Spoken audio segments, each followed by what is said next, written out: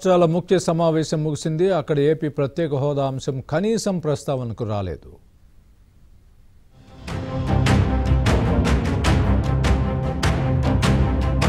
విభజన సమస్యల పరిష్కారంపై కేంద్ర హోంశాఖ సమావేశం ముగిసింది.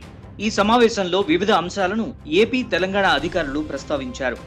రాజధానికి మరో వెయ్యి కోట్ల రూపాయలు కావాలని ఏపీ కోరగా ఇప్పటికే ఇచ్చిన పదిహేను వందల కోట్ల రూపాయల ఖర్చుల వివరాలు ఇవ్వాలని హోంశాఖ సూచించింది. రాజధాని కోసం శివరామకృష్ణన్ కమిటీ సిఫార్సులకు అనుగుణంగా ఇరవై తొమ్మిది వేల కోట్లు ఇవ్వాలని అడగ్గా హోంశాఖ అధికారుల నుంచి ఎలాంటి సమాధానం రాలేదు. దీంతో పాటు రాష్ట్రంలో వెనుకబడిన ఏడు జిల్లాలకు నిధులివ్వాలని ఏపీ అధికారులు కోరగా ఐదేళ్ళే ఇవ్వాలని నిర్ణయం జరిగిందని కేంద్ర ప్రభుత్వ అధికారులు తెలిపారు.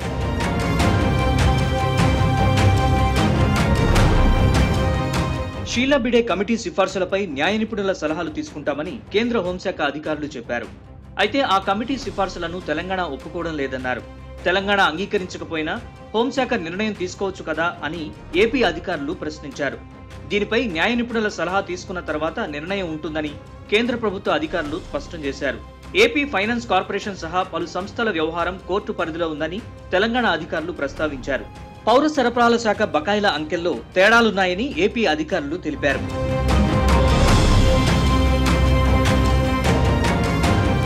రెండు తెలుగు రాష్ట్రాల సమావేశంలో ఇరు రాష్ట్రాల మధ్య ఉన్న విద్యుత్ బకాయిల అంశం చర్చకు రాలేదు. తెలంగాణ విద్యుత్ బకాయిలు ఇవ్వాలని కేంద్రం నుంచి ఎవరొచ్చినా ఏపీ ఫిర్యాదు చేస్తోంది. అయితే విభజన సమస్యల పరిష్కారం కోసం ఏర్పాటు చేసిన సమావేశంలో మాత్రం తమ డబ్బులు తమకు ఇవ్వాలని డిమాండ్ చేయలేదు. అసలు ఆ ప్రస్తావన కూడా తీసుకురాలేదు.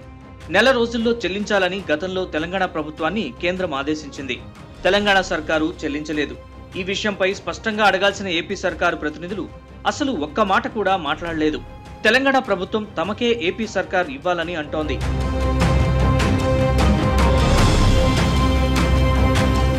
వైజాగ్ రైల్వే జోన్ ఏర్పాటు సాధ్యం కాదని రైల్వే బోర్డు సమావేశంలో తేల్చి చెప్పినట్లు తెలుస్తోంది.